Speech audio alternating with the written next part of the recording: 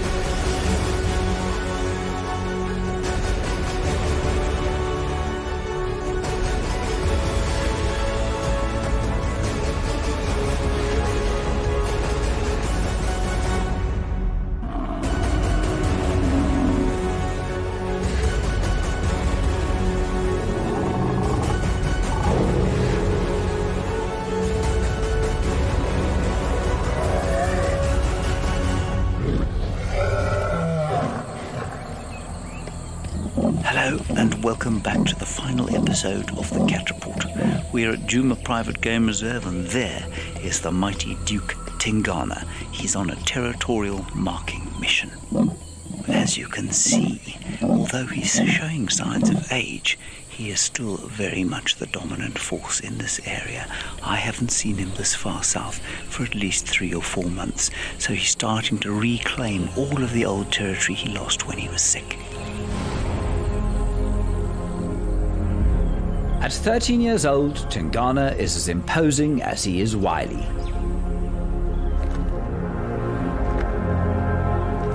For five years, he has asserted his dominance and influence as the Duke of Djuma.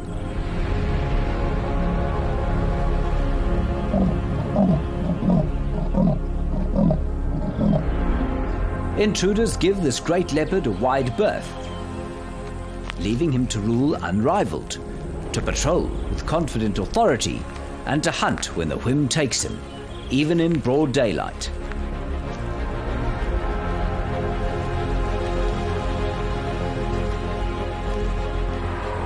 His technique has been perfectly refined over the years,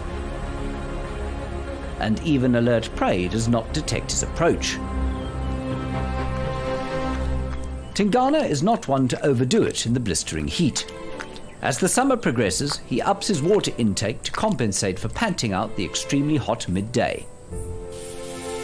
And for the copious urine sprayed during scent marking, where he fastidiously stakes a claim to every corner of his turf.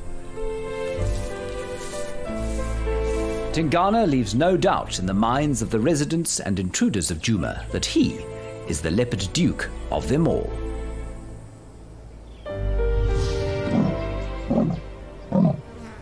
Showing signs of age he may be, but of course he's still eating a lot. He's successfully hunting, and when he's not successfully hunting, he has of course done a lot of stealing from his son Hosana and his consort Thandi. Now, I'm not sure if there's another male around here, perhaps, that's causing him to call like this, but while we wait to find out, let's head over to Brent, who is sitting with the Nkuhuma Pride. As incredible as it was to spend time with those magnificent lions in the Masai Mara, the Sausage Tree Pride, and the Winos, it's amazing to be back home in the low-veld bushveld with the resident Nkuhuma Pride. Of course, the dry season provides incredible hunting opportunities for these cats.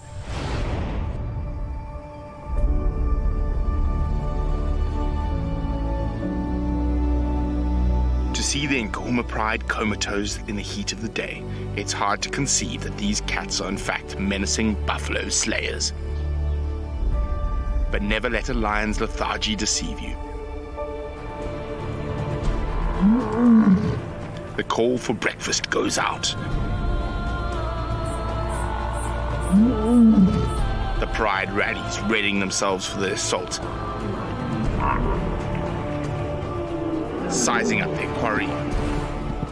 With the scent of lion up their nostrils, a buffalo can be deadly prey.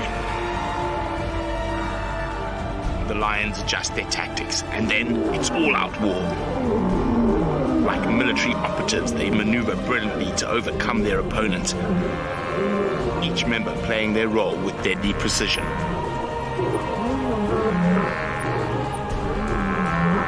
The meal will feed the pride for a week.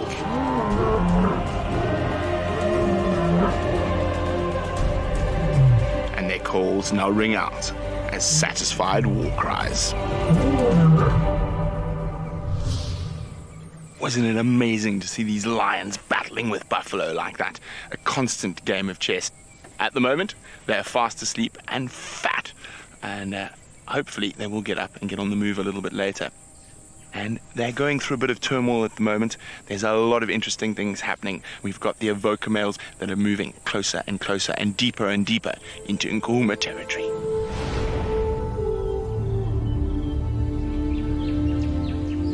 The three Avoca boys have unsettled the peace of the Pride Lands, moving in and helping themselves to kills made by the Nkuhuma females. But aside from a stolen kill or two, there hasn't been much interaction between the Pride and the new boys in town. The Pride has kept their distance while they get used to their new landlords. But things are shifting and Amber Eyes was the first to initiate a peace treaty with the Avocas, seducing one of the males in spite of his unattractive limp.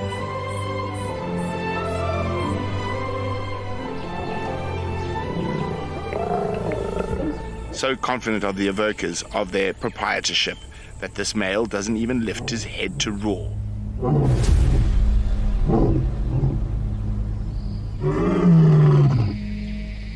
But as the Avoca anthem continues to ring out across Djuma, a truce between the Pride and the males seems to have been negotiated.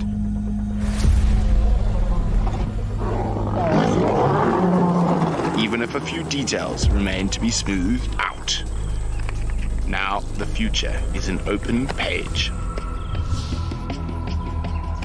I've travelled all the way from Kenya back to my home in South Africa, and although it was an absolute wrench saying goodbye to Waffles and her cubs and all of the members of North Clan that I've come to know and love, imagine how pleasant the surprise was to discover that the Djuma clan was denning here for the first time in over a year. Now, although the Djuma clan is much, much smaller than the North clan, there are a few hyenas that we've come to know and love over the past few years. One of them is Corky, the matriarch, and her high ranked female friend, Pretty. Now, the best part about this entire thing is that both of these females have cubs.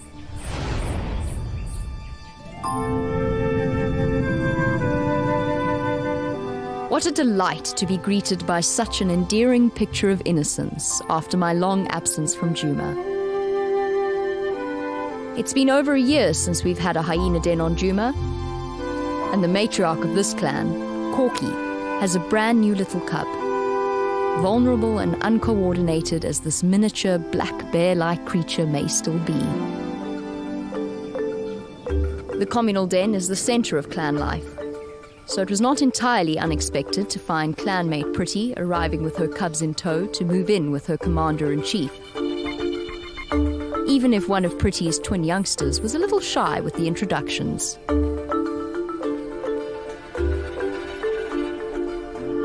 Being bigger and more mature than Corky's cub, Pretty's duo quickly set to the task of exploring their new digs while Mom instilled a lesson in wrestling techniques with the littlest cub. Skills a dominant cub will need to master in order to subjugate its two larger house companions. While hyena cubs begin exploring the outside world at just a few days old, these youngsters will remain close to the den for many months yet, reliant on their mothers to guard and feed them as they grow in size and confidence. What a joy it is to see hyena cubs on Djuma once again, and of course to catch up with the hyenas that I know so well. This one over here is a pretty. She's suckling the two older cubs, and the little one dashing about is a Corky's little cub, who, of course, we suspect strongly is a male. Now, there's some very big differences between the hyenas of North Clan and the hyenas of the Djuma clan.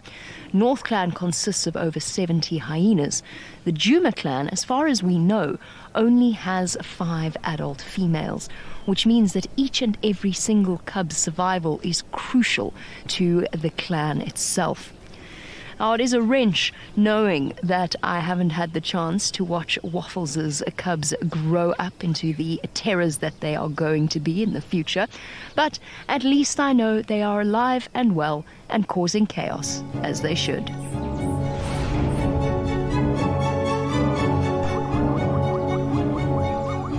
Lately, North Den has been heaving with mischief as a creche of cubs of varying ages occupy themselves with learning the ways of their kind and causing general pandemonium.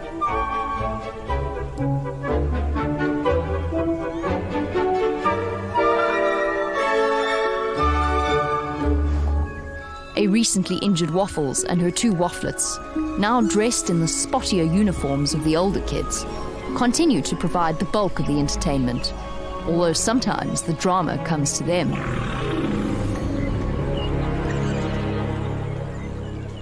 There is an uneasy truce between elephants and hyena. And in situations like this, the balance could shift in an ominous direction if the hyenas don't heed the larger visitors and skirt them with caution.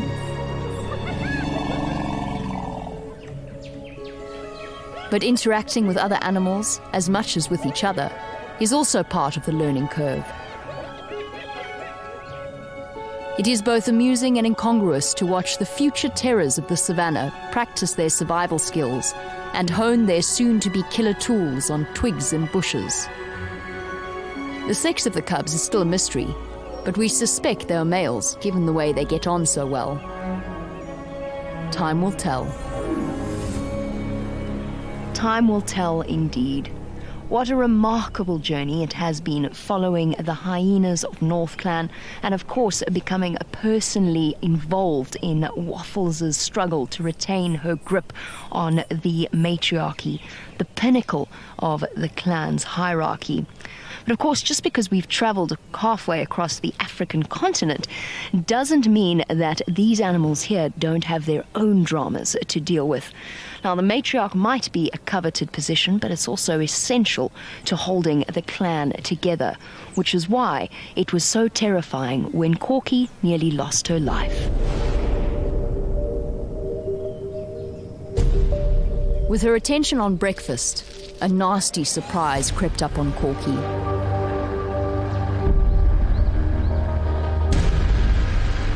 Unprovoked, one of the Avoca males stormed upon her with cruel intent, bypassing her kill to assault her directly and brutally.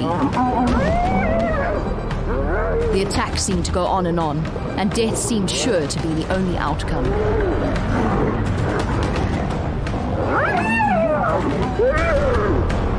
But tenacious and resilient as the best hyenas are, Corky miraculously escaped, leaving the malicious intruder to devour her meal.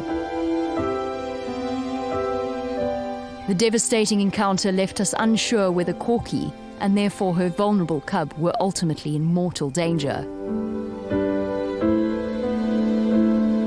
But she soon returned to the den, and in spite of deep wounds, resumed her motherly duty as if life hadn't just nearly been snatched from her grasp.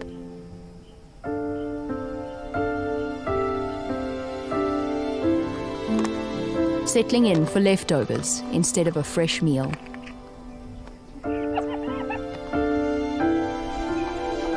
Oblivious to the recent trauma, the feisty matriarch's young furball and his mischievous companions resumed their carefree existence under her watch.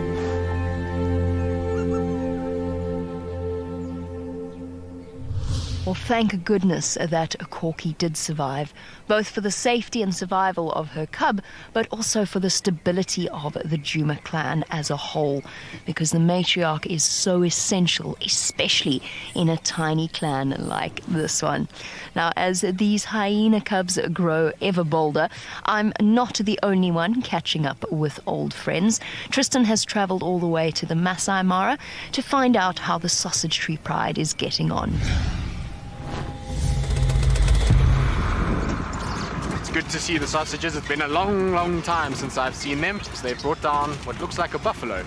Well done. Both males are here. Oh, how awesome is this? This is so cool. We've just missed this. I think if we had been here maybe an hour ago, we would have seen this happen. They have brought down a rather sizable buffalo, and it is, by the looks of things, the entire pride. So the cubs have now joined. Awesome to have both the boys around as well. And you can see they're very accepting of those cubs around the meal. I'm actually quite surprised at how sort of relaxed they are with the little ones feeding right there. But it really is good to see all of these guys here, and I'm super excited to see the little cubs because I haven't seen this pride in quite a while. And like anything, when it's old friends, it's always great to catch up and meet the new members of the family.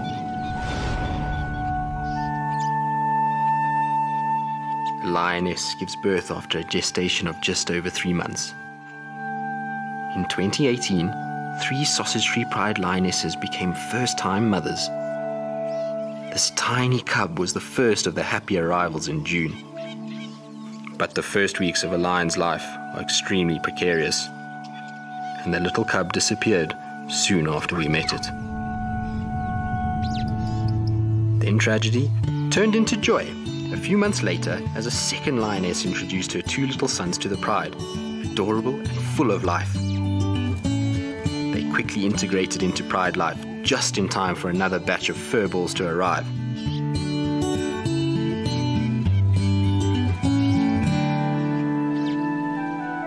Bringing the Sausage Tree Pride Nursery to an adorable four.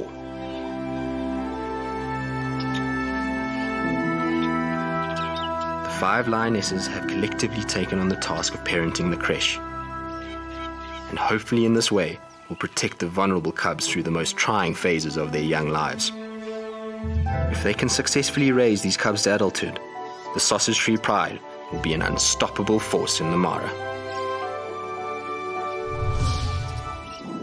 What a treat to watch a pride of lions that you know so well grow in number. Now, the cubs obviously add a very fun dynamic to the pride, and they also provide a bit of cohesion to this group. We're going to find that the females are really going to come together to provide not only food but protection from the enemies that lions have in the form of hyenas. And I really look forward to kind of watching these little ones as they grow up and as they learn the ropes from these incredible mothers that have really provided so well for them so far. They've got such an opportunity to learn from probably some of the best hunters that we have out here in the Mara. These guys have the ability to bring down big buffalo, and hopefully in the future we'll see these little ones in the same place as these adults with little cubs of their own, teaching them these vital skills. As the sun sinks to the western horizon, the sausage tree pride wakes from a day of slumber. As with any family, it's the youngsters who are first to get up. Then, once the blanket of darkness is complete and the cubs have been comforted with a drink of milk, the rest of the pride stretch and ready themselves to move out. Kinky Tail takes up the lead as they stride into the night.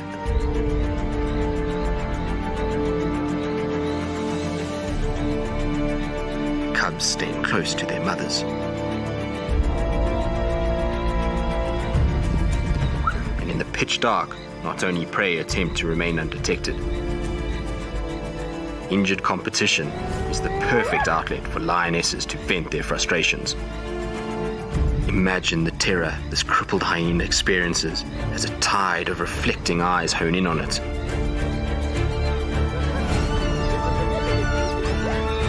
Yet somehow, fueled by adrenaline, it finds the reserves to overcome the pain, to run, fight, and survive the face of horrendous odds.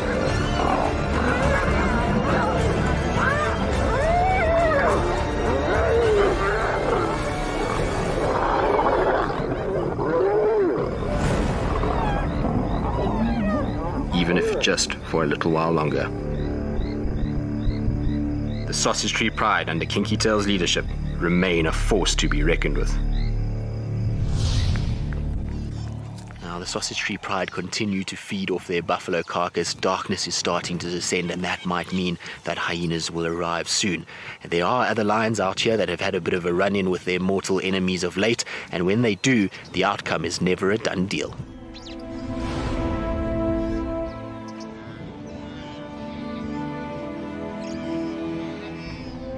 As the last herds of the migration file out of the Mara Triangle, the Awino Pride have been watching them keenly.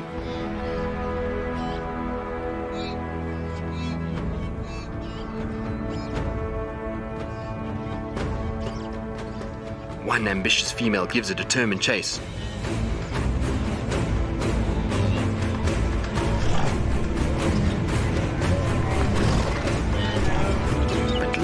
Not on her side this time. After dark, the pride regroups and prepares to hunt more intentionally.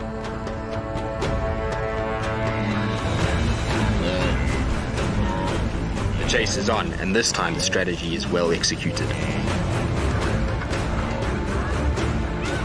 The pride enjoying the migration pickings just a little while longer. But it's not long before the familiar whooping and cackling of hyenas fills the air. The happy zebra clan have the advantage of numbers, and the Awinos barely put up a fight as they retreat, thwarted again. Perhaps their caution stems from a memory of their last encounter with this fearsome clan, and how they put up a very committed fight. It really has been an incredible privilege to observe both the Awino and Sausage Tree Pride on this cat report over the last migration season. To have watched their interactions with the amazing Mara super predator like the hyenas has been nothing short of incredible. We have witnessed the new birth of cubs to the Sausage Tree Pride to bolster their numbers, and the Awino youngsters, well, they've come out onto their own as they've grown up into beautiful sub-adult lions, and they have really learnt a lot about killing and trying to keep their meals from hyenas, and it's going to go a long way to the success of the Pride. But life in the wilderness is equally challenging wherever an animal finds itself, and the leopards of Djuma, well, they certainly have had their share of challenges and triumphs too. We don't know if Tingana is ever going to father more cubs. His last two, Hosana and Tlalamba, are still within his territory. Hosana, almost three years old, is almost on his way to independence, so we don't know how long we're going to have him with us. We hope for a little while longer yet. Tlalamba, on the other hand, will probably stay in this domain. She'll carve out a piece of her mother's territory and live in Tingana's territory under his protection for some time to come. Now, while Tingana is, of course, a very serious cat, you can see he's taking life very seriously as we speak. Hosana is anything but.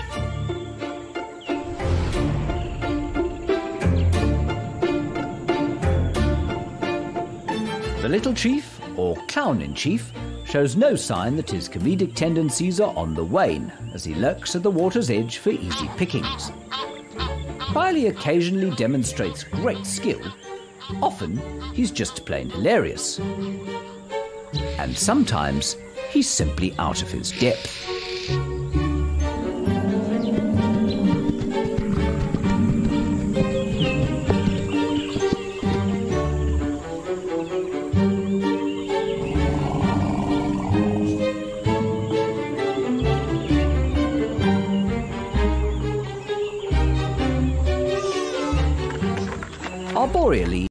Never been the most graceful, patient, or skillful. But his efforts are commendable and tireless.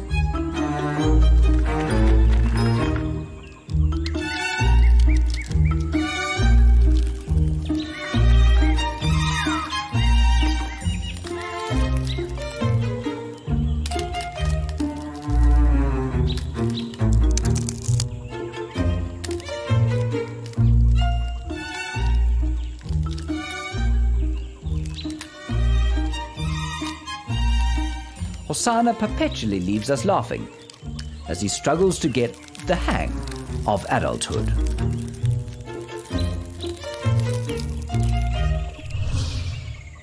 While Hosana is a complete clown, his half sister Tlalamba is a little more elegant, although she is still mischievous. She's going into a difficult period of her life and she's going to need the protection of her father and, of course, still the lessons of her mother, the Queen.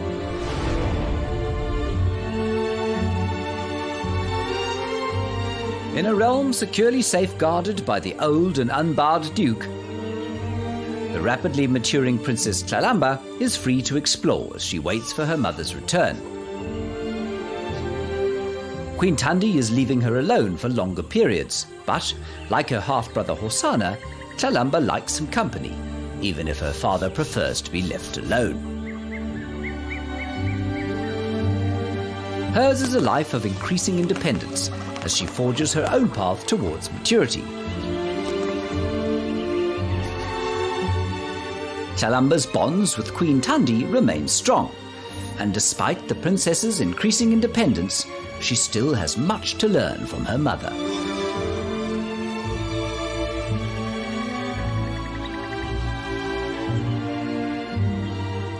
Her stealth and stalking skills are particularly well developed, although, like any leopard, they are not always successful.